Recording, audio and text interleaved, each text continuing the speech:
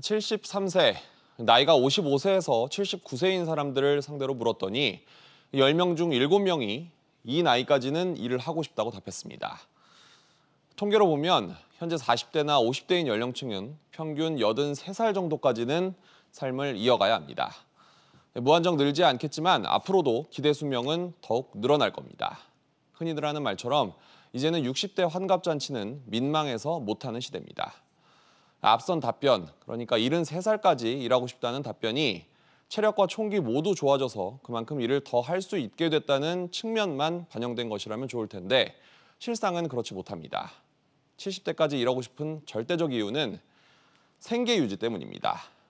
좀 극단적으로 표현하면 살기 위해 일해야 한다는 말입니다.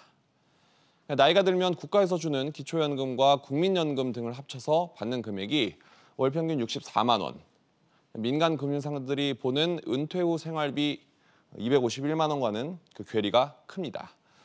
이나마도 준비돼 있지 않은 사람들이 늘어나고 있다는 게 더더욱 큰 문제입니다.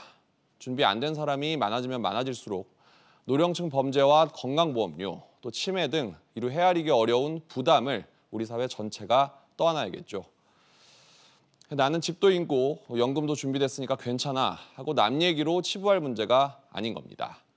결국 사회적 부담의 대다수는 우리 자녀 세대가 부담해야, 부담해야 하기 때문입니다.